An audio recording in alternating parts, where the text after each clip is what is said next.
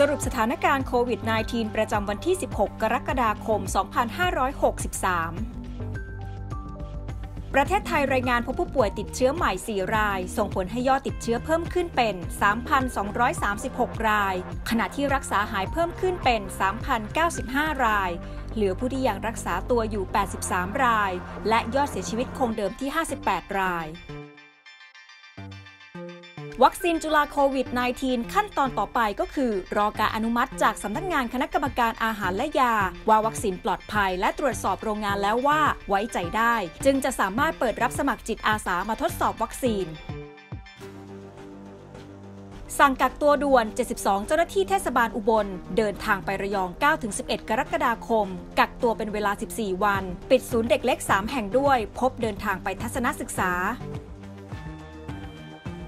33 ประเทศในภูมิภาคลาตินอเมริกา และแถบทะเลแคริบเบียน รายงานผู้ป่วยติดเชื้อมากกว่า 3 ล้าน5แสนราย และผู้เสียชีวิตมากกว่า 150,000 ราย สาธารณสุขเม็กซิโกรายงานพบผู้เสียชีวิตในรอบวันเกือบ 600 ราย และติดเชื้อมากกว่า 6,000 ราย ยอดผู้ติดเชื้อทั้งหมด 13 725,610 ราย เสียชีวิต 587,606 ราย หรือประมาณ 4.28%รักษาหาย 8,177,833 ราย หรือประมาณ 59.58%ติดเชื้อทั้งหมด 215 ประเทศและเขตปกครองพิเศษ 10 ประเทศที่มียอดผู้ติดเชื้อสูงสุดได้แก่ สหรัฐอเมริกา บราซิล อินเดีย รัสเซีย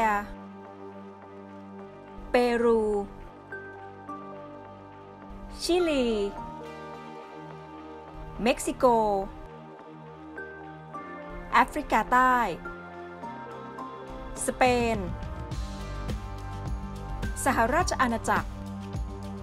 ไทยอยู่อันดับที่ 100 ติดเชื้อ 3,236 ราย เสียชีวิต 58 ราย รักษาหาย